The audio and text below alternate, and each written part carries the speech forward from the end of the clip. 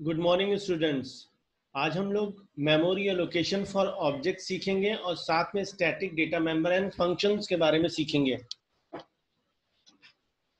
Now memory allocation for objects अब जब भी हम कोई क्लास बनाते हैं तो उसके लिए हम उसको यूज़ करने के लिए हम उसके लिए ऑब्जेक्ट क्रिएट करते हैं। तो ऑब्जेक्ट को मेमोरी कैसे एलोकेट होती है, उसके बारे में पढ़ेंगे। Now, each object has its own separate data items. यानी कि हर ऑब्जेक्ट के पास अपना क्या होता है? डेटा आइटम्स होते हैं मेंबर फ़ंक्शंस होते हैं। यानी कि जब भी हम कोई क्लास क्रिएट करेंगे तो सबसे पहले हम क्या डिफाइन करेंगे? डेटा मेंबर यानी कि प्रॉपर्टीज़ एंड बिहेवियर उसी के बेसिस पे जब भी हम उस क्लास के एन नंबर ऑफ़ ऑब्जेक्ट जितने भी ऑब्जेक्ट क्रिएट करेंगे, हर एक के पास क्या होगा? अपना डेटा मेंबर और फ़ंक्शन होगा। लेकिन इसमें देखिए जो मेंबर फ़ंक्शन आप क्रिएट करते हैं place in the memory only once यानी कि जब आप केवल क्लास डिफाइन कर रहे हैं, अभी ऑब्जेक्ट आपका क्रिएट हुआ है या नहीं हुआ, उससे नहीं मतलब है, लेकिन अगर क्लास जो डिफाइन जैसे ही कर रहे हैं रन टाइम पे तो हो क्या रहा है कि उसके जो मेंबर्स होते हैं, उसे एक टाइम ही मेमोरी एलोकेट होती है, ठीक है? और इसी मेंबर फ़ंक्शन को सारे ऑब्जेक्ट क्या करेंगे? शेयर करेंगे, ठीक? अच्छा the data item will hold different values. So, there must be separate instance of each data item for each object. अच्छा चूँकि हर ऑब्जेक्ट की अपनी खुद की प्रॉपर्टी होती है, उसमें अपनी अपनी अलग वैल्यू स्टोर करेंगे तो हर ऑब्जेक्ट में जो डेटा आइटम्स होंगे, उनके लिए सेपरेट मेमोरी स्पेस प्रोवाइड होता है। ठीक है? तो data is there for place in the memory when each object is defined यानी कि जब भी हम ऑब्जेक्ट क्रिएट करते हैं उसी समय क्या होता है, उस डेटा मेंबर्स के लिए, उस ऑब्जेक्ट के डेटा मेंबर के लिए क्या होता है मेमोरी एलोकेट हो जाती है separate set of data for each object यानी ये हर ऑब्जेक्ट के लिए अपनी एक अलग डेटा आइटम्स के लिए मेमोरी क्रिएट हो जाती है। ना यहाँ पे हम लोग फिगर देख रहे हैं। इस फिगर में देखिए कि हमारे पास ये क्या है, ये दो मेंबर फ़ंक्शन है। वन एंड टू यानी कि जब आप मेमोरी क्रिएट कब होती है इसके लिए? जब आप क्लास डिफाइन करते हैं एग्जीक्यूशन के टाइम जब भी क्लास एग्जीक्यूशन होता है तो उसी समय जो फ़ंक्शंस जो आपने डिफाइन कर रखे हैं, उसके लिए मेमोरी एलोकेट हो जाती है। लेकिन ऑब्जेक्ट के लिए मेमोरी कब एलोकेट होती है? जब आप उसे क्रिएट करते हैं। तो किसी क्लास के अंदर मेंबर फ़ंक्शन भी होते हैं as well as member variables भी होते हैं। लेकिन जो ऑब्जेक्ट क्रिएट कर रहे हैं जब आप क्रिएट करते हैं तब उस टाइम क्या होती है? Separate memory space for member variables के लिए एलोकेट uh, होती है मेंबर वेरिएबल्स के यानी कि ऑब्जेक्ट वन के लिए अलग होगा मेमोरी वेरिएबल वन और टू के लिए। इसी तरह ऑब्जेक्ट टू के लिए अलग मेमोरी स्पेस एलोकेट होगा इसी तरह ऑब्जेक्ट थ्री के लिए। यानी कि जितने भी ऑब्जेक्ट क्रिएट करेंगे हर एक के लिए जो हमारा डेटा मेंबर्स होंगे हर ऑब्जेक्ट के लिए उसके लिए मेमोरी अलग अलग क्रिएट होगी। लेकिन फ़ंक्शन के लिए मेमोरी एक ही बार एलोकेट होगी और वो होगी कब? जब आप क्लास डिफाइन करते हैं। आगे चलते हैं। तो इस तरीके से memory allocation of for objects के लिए है। नाउ अब आता है हमारे पास स्टैटिक डेटा मेंबर ये स्टैटिक डेटा मेंबर होता क्या है?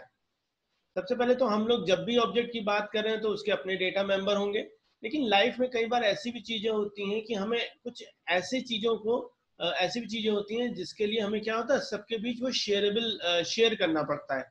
जैसे मान लीजिए आपके घर में आप लोग खाना खाते हैं तो एक डाइनिंग टेबल होगी, जिससे क्या होगा, सभी ऑब्जेक्ट्स क्या करेंगे शेयर करेंगे। तो कोई ना कोई कैसा डेटा मेंबर होना चाहिए, वो जो सभी ऑब्जेक्ट्स के बीच क्या हो कॉमन हो। तो उसके लिए हम लोग ने यहाँ पे क्या यूज़ किया है स्टैटिक डेटा मेंबर डिफाइन किया है। ये एक कॉमन डेटा मेंबर होता है for all object data member can be declare as a static अभी तक हम लोग ने देखा था जो डेटा मेंबर हम लोग ने डिफाइन किया था नॉर्मली बेसिक डेटा टाइप का ही यूज़ करके हम लोग उसको डिफाइन करते थे। लेकिन अब हम डेटा मेंबर को हम क्या डिफाइन कर सकते हैं? एज अ स्टैटिक जैसे हम लोग फाइनल uh, वो आई यूज़ करते थे उसके साथ साथ एक मॉडिफायर और यूज़ करेंगे। जिसका नाम क्या होगा? स्टैटिक अब इसका यूज़ क्या होता है? जब भी हम किसी भी डेटा मेंबर को क्लास के डेटा मेंबर को एज अ स्टैटिक डिक्लेयर करेंगे तो उसकी केवल एक ही कॉपी क्रिएट होती है सारी क्लास के लिए। और वो सारे ऑब्जेक्ट जितने भी ऑब्जेक्ट आप उसके क्रिएट करेंगे उस क्लास में वो एक ही कॉपी सारे ऑब्जेक्ट्स के साथ शेयरेबल होगी। जितने मर्ज़ी आप ऑब्जेक्ट क्रिएट कीजिए लेकिन अगर जब भी उसे एक्सेस करेंगे तो वो सारे ऑब्जेक्ट से आ, में शेयरेबल होगा। कॉमन टू ऑल ऑब्जेक्ट्स अच्छा it is only visible within class हम क्लास के अंदर इसको एक्सेस कर सकते हैं एज वेल एज क्लास से बाहर भी एक्सेस कर सकते हैं। अभी देखेंगे लेकिन इसका लाइफ टाइम क्या होता है? पूरे प्रोग्राम के लिए होता है। जब तक तो प्रोग्राम खत्म नहीं हो जाता ये एग्जिस्ट करता रहेगा। ठीक? Static variables are normally use to maintain the values common to entire class यानी कि स्टैटिक वेरिएबल हम तब लेंगे जब आ, कोई वैल्यू हमें सारी आ, पूरे क्लास में हमें क्या करना होगा? कॉमन रखनी होगी। फॉर एग्ज़ाम्पल अगर हम बात करें, ये जो यूनिवर्सिटी है, हम स्टूडेंट्स हैं, कई सारे हैं टीचर्स कई सारे हैं, लेकिन यूनिवर्सिटी एक है, यानी कि यूनिवर्सिटी का नाम क्या है? कॉमन टू ऑल है। तो हम इसे क्या डिक्लेयर कर सकते हैं? अगर क्लास बना यूनिवर्सिटी सिस्टम का तो हम यूनिवर्सिटी का name as a static data member declare कर सकते हैं, ताकि कोई भी ऑब्जेक्ट एक्सेस करना चाहे उस मेंबर को तो एक्सेस करेगा तो उसे सेम वैल्यू मिलेगी। अच्छा। जब हम लोग मान लीजिए आप नहीं इनिशलाइज करते हैं तो ऑटोमेटिकली किसी इनिशलाइज हो जाती है? ज़ीरो से होती है, जब भी आपका फ़र्स्ट ऑब्जेक्ट क्रिएट होगा। आप अपनी तरफ़ से कोई इनिशलाइजेशन करना चाहते हैं तो वो भी कर सकते हैं। अच्छा ये देख सकते हैं, हमारे पास एक फिगर देखिए। हमारे पास एक ऑब्जेक्ट है ऑब्जेक्ट वन उसका अपना एक डेटा मेंबर है नंबर ये दूसरा ऑब्जेक्ट है, उसके लिए अलग मेमोरी एलोकेट हुई नंबर एक तीसरा ऑब्जेक्ट है, उसके लिए भी एक मेमोरी अलग क्रिएट हुई number that is a data member है अलग अलग मेमोरी एलोकेट हो रही है। लेकिन एक जो वेरिएबल है, जिसे हमने क्या डिक्लेयर किया एज अ स्टैटिक वो क्या हो रहा है? इन तीनों ऑब्जेक्ट में कॉमनली एक्सेस हो रहा है। यानी कि तीनों ऑब्जेक्ट इसको शेयर कर रहे हैं। ये इसका एक छोटा सा एग्जांपल देखते हैं। हमने एक क्लास बनाई, जिसका नाम क्या रखा? आइटम ना, हमने प्राइवेट डेटा मेंबर में एक वेरिएबल डिफाइन किया जिसका नाम था काउंट उसका डेटा टाइप आईएनटी और उसे कैसे डिक्लेयर किया? स्टैटिक यानी कि ये मेंबर वेरिएबल कैसा वेरिएबल है। एज अ स्टैटिक यानी कि इसकी एक सिंगल कॉपी ही क्रिएट होगी। अच्छा एक हमने दूसरा वेरिएबल लिया, जो आपका नॉर्मल मेंबर वेरिएबल है इंस्टेंस वेरिएबल है। अच्छा इस स्टैटिक वेरिएबल को हम लोग क्लास वेरिएबल भी कहते हैं। क्लास वेरिएबल ठीक है? और ये हमारा क्या कहलाता है? ये हमारा कहलाता है इंस्टेंस वेरिएबल ठीक? नाउ अब चूँकि प्राइवेट डेटा मेंबर है तो हम ध्यान रखिए, हम उसको आउटसाइड द क्लास एक्सेस नहीं कर सकते। उससे वैल्यू चाहिए या उसमें वैल्यू स्टोर करनी है तो कोई ना कोई एक इंटरफेस डिफाइन करना पड़ेगा दैट इज़ अ फ़ंक्शन तो हमने इस नंबर में वैल्यू स्टोर करनी है तो हमने एक मेथड बनाया that is return type void है set data is the name of the function और जो वैल्यू पास करेंगे, वो उस डेटा मेंबर में क्या करेगा स्टोर करेगा। अच्छा जब भी स्टोर करेगा तो हमने ये जो काउंट की वैल्यू है, उसे हमने क्या करा ली? एक का इंक्रीमेंट करा लिया, क्योंकि इनिशियलाइजेशन हमारा ज़ीरो से होगा तो ज़ीरो के बाद जब भी वो एग्जीक्यूट होगा तो वन टू थ्री काउंटिंग करना शुरू कर देगा। यानी कि जितनी बार भी हम इस मेथड को कॉल करेंगे, उतनी बार क्या होगा? इस काउंट की वैल्यू इंक्रीमेंट होती जाएगी। इरिस्पेक्टिव ऑफ़ आप किस ऑब्जेक्ट से इसे कॉल कर रहे हैं। नाउ अगर हमें इस काउंट की वैल्यू चाहिए चूँकि प्राइवेट है तो हमने अगेन एक मेथड uh, डिफाइन किया जिसका नाम गेट काउंट है रिटर्न टाइप क्या किया आईएनटी यानी कि जब भी हम इसको एक्सेस करेंगे तो काउंट की वैल्यू रिटर्न करके देगा। ये हमारी क्लास थी हमने बना लिया। अब इसको इम्प्लीमेंट करना है तो हमें क्या करना पड़ेगा? अब हमें इसका ऑब्जेक्ट बनाना पड़ेगा। देखते हैं।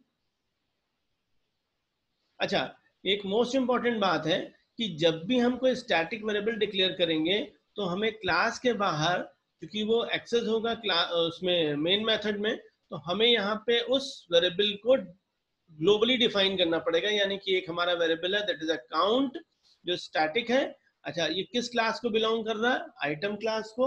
तो आइटम स्कोप रेजोल्यूशन ऑपरेटर और उसका डेटा टाइप क्या है, वो डिफाइन करना पड़ेगा। अगर आप यहाँ इक्वल टू ज़ीरो नहीं देते हैं तो वो ज़ीरो से इनिशलाइज करेगा ही करेगा। लेकिन आप चाहें तो यहाँ किसी और से भी दे सकते हैं तो वो वाली स्टार्टिंग वैल्यू लेगा इनिशलाइज कर लेगा। जैसे टेन से दिया तो स्टार्टिंग वैल्यू कितनी हो जाएगी? टेन हो जाएगी। आगे चलते हैं। तो ये स्टेटमेंट मस्ट है, ध्यान रखिएगा।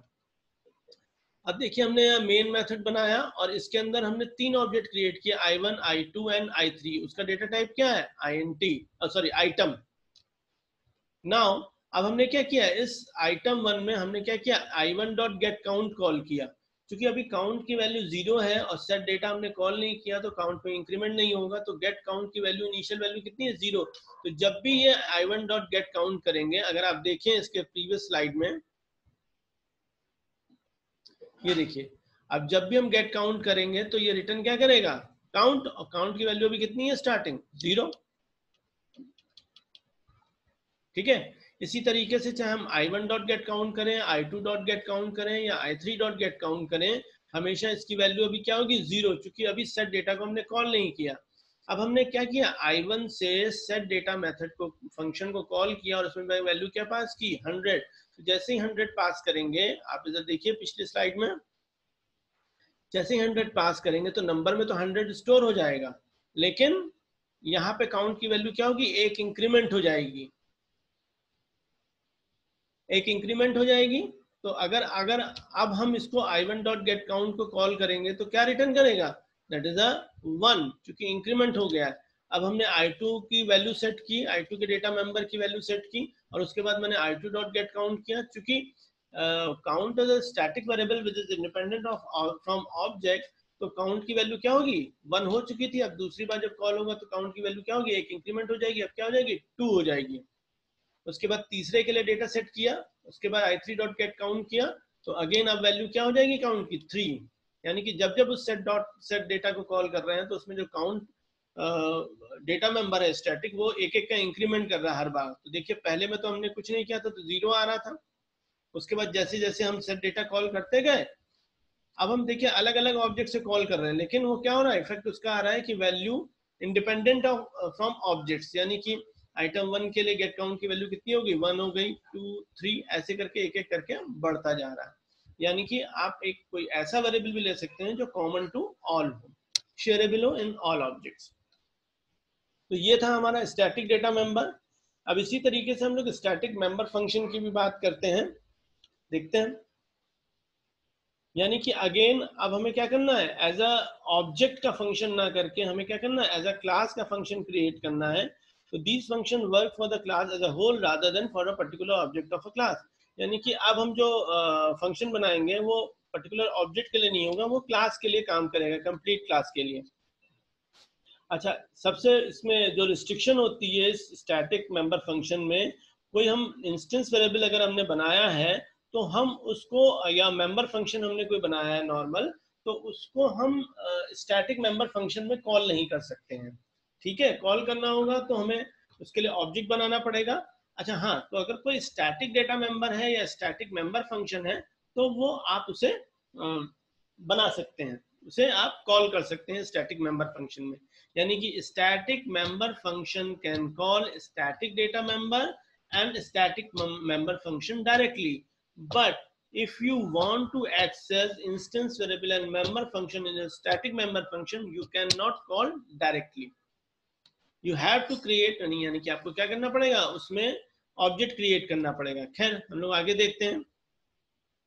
It can be called using object अच्छा ये जो स्टैटिक मेंबर फ़ंक्शन है इन्हें हम बेसिकली uh, उससे भी कॉल कर सकते हैं ऑब्जेक्ट से भी कॉल कर सकते हैं एज वेल एज लेकिन जनरली हम लोग क्या देखते हैं? क्लास के नाम से ही हम केवल स्टैटिक डेटा मेंबर और मेंबर फ़ंक्शन को एक्सेस करेंगे। देखते हैं। यूजिंग स्कोप रेजोल्यूशन ऑपरेटर इस छोटे को छोटे से उसको देखिए अब अब यहाँ पे हमने एक पब्लिक सेक्शन में एक काउंट नाम का वेरिएबल डिफाइन किया इंटीजर टाइप का है और स्टैटिक उसका मॉडिफायर है। अब हमने एक फ़ंक्शन डिफाइन किया स्टैटिक फ़ंक्शन यहाँ देखिए क्या लिखा हुआ है स्टैटिक और रिटर्न टाइप क्या है वाइड यानी कि मेंबर फ़ंक्शन किस टाइप का स्टैटिक मेंबर फ़ंक्शन है। अब इसके अंदर देखिए जो हमारा काउंट एक्सेस हो रहा है, वो किस टाइप का है? स्टैटिक है तो हम इसे डायरेक्टली एक्सेस कर ले रहे हैं। अगर यानी कि नॉर्मल कोई इंस्टेंस वेरिएबल होता तो ये एक्सेस करने की परमिशन नहीं देता। उसका तरीका दूसरा होता है, जैसे ऑब्जेक्ट क्रिएट करने के बाद हम कर सकते हैं। नाउ ये जो हमने काउंट हमने यहाँ डिक्लेयर किया है क्लास के अंदर, बाहर भी हमें एज अ ग्लोबल डिक्लेयर करना पड़ेगा कि ये काउंट एक स्टैटिक डेटा मेंबर है क्लास का और इसका डेटा टाइप आईएनटी है और ये किस क्लास को बिलोंग कर रहा है? एक्स क्लास को। इसको रेजोल्यूशन ऑपरेटर के थ्रू बताया जा रहा है।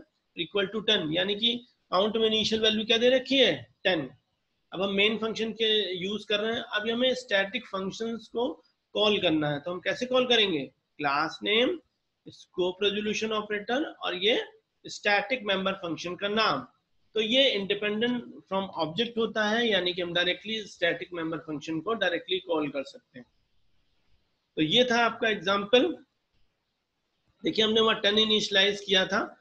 तो जब हमने एक्सेस किया तो क्या प्रिंट हो रहा है? टेन तो इस तरीके से आप स्टैटिक डेटा मेंबर भी डिक्लेयर कर सकते हैं स्टैटिक मेंबर फ़ंक्शन भी डिक्लेयर कर सकते हैं, पर कुछ पॉइंट आपको याद रखने हैं। जैसे कि नॉर्मली आप स्टैटिक फ़ंक्शन से डायरेक्टली आप इंस्टेंस वेरिएबल और नॉर्मल फ़ंक्शन को डायरेक्टली नहीं कॉल कर सकते। Static data member and static functions को आप डायरेक्टली कॉल कर सकते हैं स्टैटिक फ़ंक्शन के अंदर।